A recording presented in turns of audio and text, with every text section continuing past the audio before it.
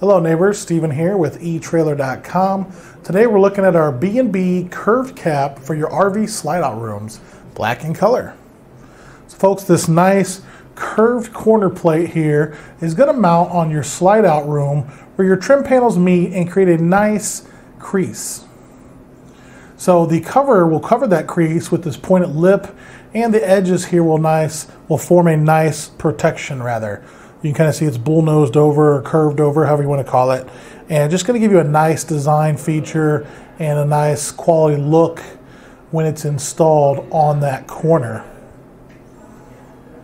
It is UV stabilized. It's going to prevent fading and cracking.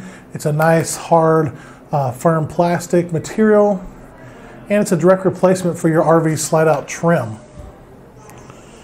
Now as far as some quick dimensions, overall side to side I was getting right at 2 and 7 eighths by 6 and 15 sixteenths long all the way up there to the tip.